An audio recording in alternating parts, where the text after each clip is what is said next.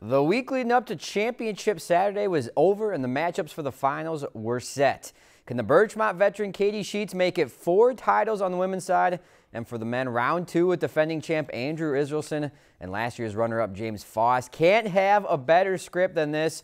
Let's head out to the Town and Country Club for the one final time, starting with the men in the highly anticipated rematch. And Andrew Israelson got off to a fast start. The front nine built a three-up lead. Sinks the putt here, goes up as many as five holes. Fosso, he tried his best to stay in it. Won the eighth hole earlier, then the nice approach off the green on 14 that tries to extend the match, but Israelson's tee shot sets him up for a two-putt in the driver's seat to win it all, and he's not going to miss those. Foss would concede the hole and the match. Israelson is your 2017 championship and has gone back-to-back -back in the men's division. You know, it's it's really a joy.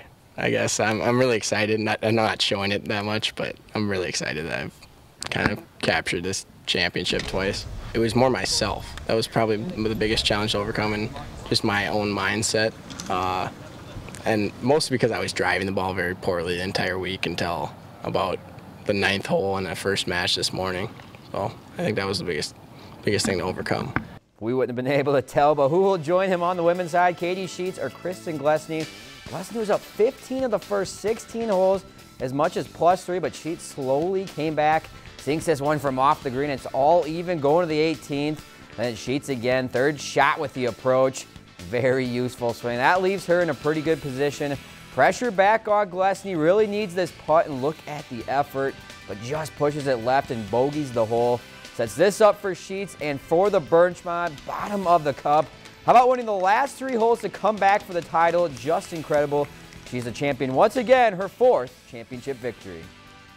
It feels really good. I missed last year. I was in a wedding, so it feels good to be back. And I can't believe that I won it again. It's pretty crazy. I thought, honestly, I thought it was over, like in the back nine, about middle of the back nine, but somehow pulled it through. So those two of your champions. Here's your some other three executive division, division Nick Bergen, senior division Mark Redmond, and masters division Jeff Tweeten. In the junior division, Nate Diesel, and in the junior 10 to 12 division, Cole Wood. So congratulations to all those winners. If you've enjoyed this segment of Lakeland News, please consider making a tax-deductible contribution to Lakeland Public Television.